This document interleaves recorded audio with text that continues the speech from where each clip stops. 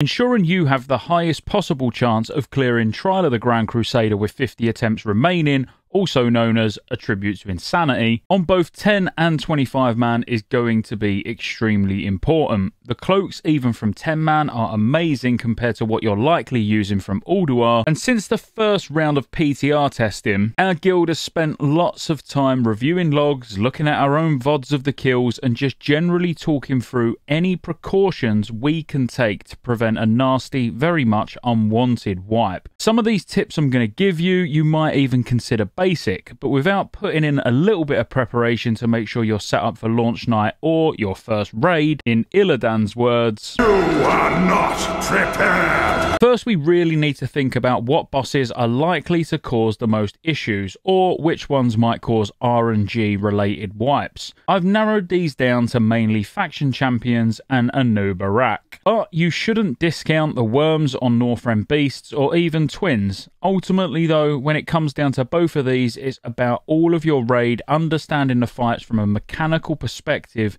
and having decent ways of tracking key abilities.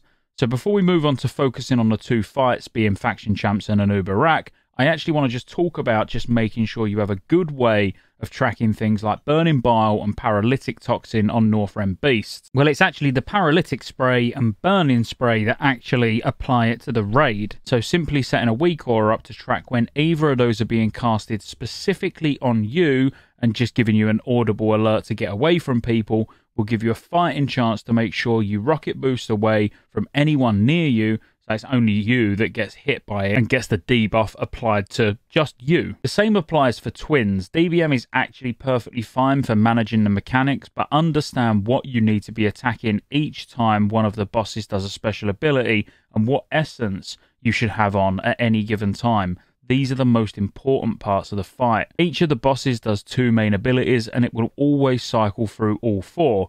So as the fight progresses, it makes it easier and easier to predict ahead of time exactly what you should be doing. But you need to understand that. You need to understand when it's going to do a heal, when it's going to do an AoE. If you've been light and you stayed light essence for two special abilities, then you know you can actually safely switch to dark. Your whole raid can swap to dark, and you're not going to have to switch probably for the rest of the fight. But again, the main thing is having a way to track this, and to be honest, DBM is perfectly fine for twins. But anyway, what I actually brought you here for, let's start with faction champs. As I say, I'm only fixating on the two bosses that I really think will cause problems, and maybe even the most prepared groups might have an untimely wipe on one of these. For those of you who don't know, the fight is extremely irritating. I'm not going to sit here and say it's ridiculously hard, but it's definitely difficult enough to warrant some preparation and to put personal responsibility on everyone in the raid to come as prepared as possible. You don't want to be that guy who just gets instantly clapped and dies 10 seconds into the fight. The longer this fight goes on, the easier it gets because you slowly start to dispatch of the enemy team one at a time. Interestingly, when I was on a podcast a week or so ago, Simon Eyes was on the show and we was all sharing our PTR experience and just our general thoughts on the encounters. Simon Eyes' guild actually just had three rogues all have a different poison, being wound, crippling and mind numbing stacked on the enemy team at all times.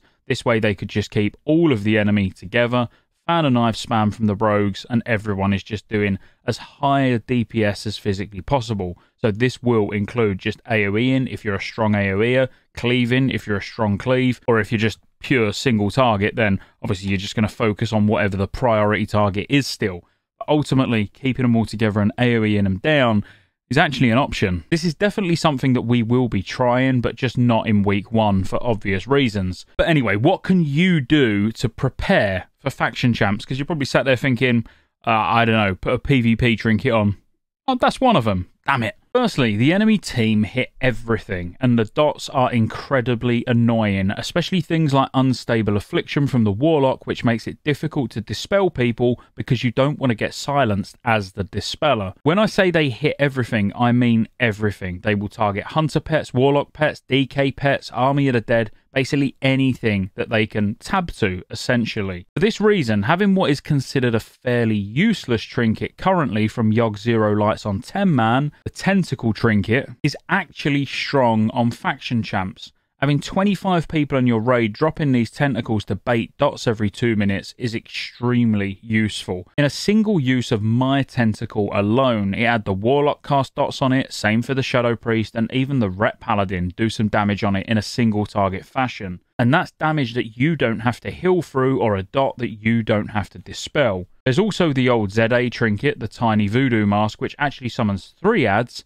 I didn't try this personally, but I don't see any reason it can't work just as well, maybe, if not better, depending on how much health they've had. I've not looked into that. Obviously, I started on fresh servers, so I've not even been and done a Zola run, but if you've got one of these sat in the bank, might be worth checking out. Target dummies are, of course, another option and just something that can be used alongside the trinket. But the only thing I don't particularly like about target dummies is the fact they share a cooldown with your health stone. And on a fight where the incoming damage is as unpredictable as it is with faction champs, I'd much rather have the health stone on the ready just in case I need it to save my life. If you was to use target dummies, ultimately the best time to use it would be on the pull, and for this reason, it makes it even less viable in my opinion because the majority of your DPS will pre-pot just to try and get rid of that first target as quickly as possible, so you're not even going to have a health potion to fall back on. It is an option, but I'll leave it up to you. The next three tips all really tie in together, but I genuinely think they're things that most guilds will overlook even the top guilds. PvP gear. Now, I'm not saying get full PvP gear for this fight, but a few pieces just to get the higher stam from those bits, as well as the resilience, which is going to reduce the damage of crits or completely remove them off the table with enough PvP gear on. That's all very nice. On top of that, the set bonuses, in particularly the 4 set, are normally pretty strong in PvP, which makes them naturally strong in this fight, as well as the gloves normally giving you something quite useful, like extra crit on Flash of Light for a Holy Paladin, for example. So even just going for the 2 set and making sure the gloves are included in that 2 set will give you a decent amount of extra health, some resilience, extra resilience from using two pieces, and whatever bonus your gloves bring. Then, of course, don't sleep on the PvP trinket being able to break out of a stun or a fear before you get slapped in the face by the warrior because he happened to get a hand of freedom on him and no one noticed is literally life saving. When I said all three of these tips are tied together, that's because next, having a spec ready just for this fight is not the worst idea either. For 99% of us, our PvE spec is exactly that. It's focused on maximizing output, either in terms of DPS or healing or survivability as a tank. Rarely are the good PvP talents taken, but looking at just a paladin, for example, having blessed life or even sacred cleansing as a healer or divine purpose as a ret paladin,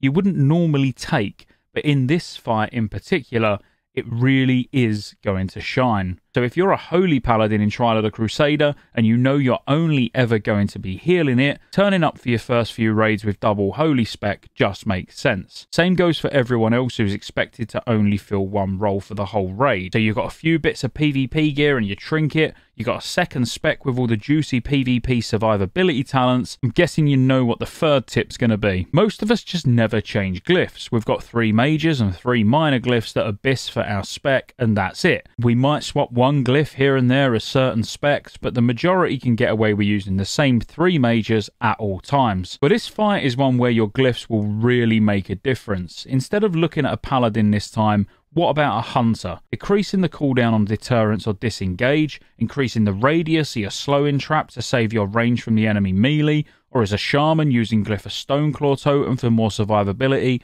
or even thunder to knock back anyone on you even more frequently. I can't stress enough how looking at what glyphs you're using for this fight just makes life so much easier because if you look at every class, the vast majority of classes have got at least one or two really strong survivability glyphs. And generally, they're glyphs that we just never use. Okay, I feel like that's enough about faction champs. The last I want to talk about is Anub'arak, or Anubarak, or Anub. I uh, whatever. This is going to be much quicker than Faction Champs because actually, firstly, it's not an overly difficult fight. Neither does it have that much bad RNG that can happen. I say not that much RNG that can happen, but there is one, I'd say maybe not RNG, but it well, it is because it's bad luck. When you kite the spikes during the submerge phase, I'm sure most of you know by now, or you've seen videos or guides or historic guides, whatever, that you're to basically like rocket boost or you're to use a sprint or any movement in like increase in effect.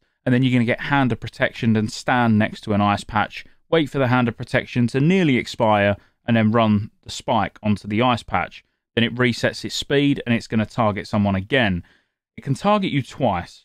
And that's the only bad bit of RNG because you don't want it targeting the same person twice and you need to be prepared for if that happens. How we plan on doing this is to make sure that everyone understands that as soon as you kite the first set of spikes into an ice patch, if you're the one that was kiting it, you're already moving to the next ice patch. If you head straight back over into the group and start trying to kill loads of little scarabs, and then you get targeted, you're going to have no movement speed increase in effects left, and could quite easily die. That wasn't even one of these tips, it's just something we learned the hard way. Preparation wise, though, having your guild bank looking like this and having loads of frost protection potions on the ready is going to go a long way. And you want it for the last phase. It just gives your healers a tiny bit of room for error. So the reason you're using these if you're not aware is for penetrating cold. If you don't know how the last phase works from a healing perspective, you're sat there sweating and fighting against your very nature of wanting to spam heal everyone who's taking damage because we don't like people on low health. Instead, what you're relying on are things like Healing Stream Totem, Judgment of Light, and even Shadow Priest to do all the work for us. Because when they're at minimal amounts of health, they're only going to take 250 damage a second, which judgment and all of that is going to comfortably keep people alive through. Keeping the tanks healthy and spot healing those with penetrating cold is the only direct healing that should be going out. When penetrating cold is first applied, it doesn't tick for 3 seconds. So it gives your healers 3 seconds to heal 5 different targets for about 4 to 5k HP and then rinse and repeat for the duration of the debuff. You'll assign specific markers or even numbers if you use a weak aura to specific healers and they'll be their targets that they're in charge of doing those quick 4 to 5k heals on every few seconds. The thing is, if your healer is slightly slow reacting or doesn't quite manage to hit, let's say, both of his assigned targets in time, one of them will die just before the heal lands.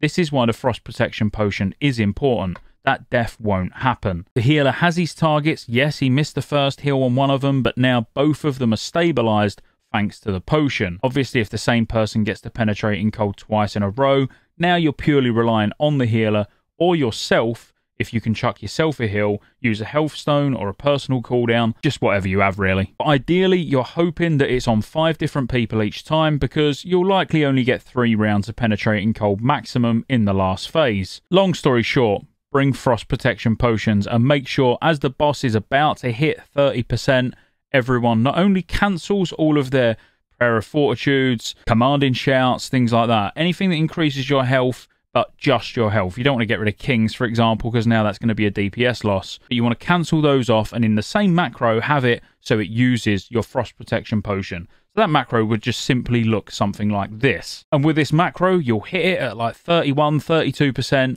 Boom, your whole raid has now got rid of their health increase, so the boss is going to be leeching less health, thus healing more, and you're all going to have your frost protection potion on. This does lead us nicely onto the final point, which was also the first point, but it's extremely relevant on the final boss. Set a weak aura up just like this one that will show you extremely clearly when you have penetrating cold on you. And in phase 3, whenever you see this pop up, use anything, just something any damage reduction cooldown, a health stone, much like I said before, just anything you've got. I can't stress that enough. Help your healers out. Getting to phase three is comfortable, but when you're in phase three and panic sets in, that's when you'll wipe. And I almost guarantee you'll wipe because you'll slowly or quickly lose targets to penetrating cold. So make sure you're prepared before going in by having a solid way to track it, and then grats, you got yourself a new cloak. Or loads of drama because there's only one cloak and there's 25 people that want it because it's an absolute beast. So be sure to like and subscribe. See you on the next one.